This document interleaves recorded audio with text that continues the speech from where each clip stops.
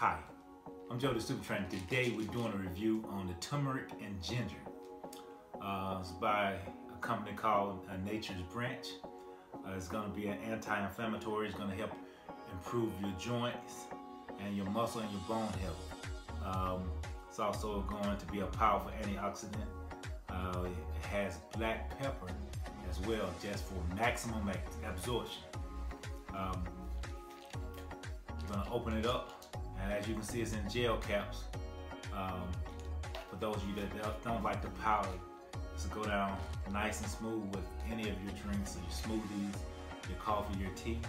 Uh, and this, like I said, this is going to help improve your flexibility and your joints, and uh, also uh, put antioxidants um, to help you your body fuel and, and propel itself like it's, it's supposed to and not feel sluggish throughout the day.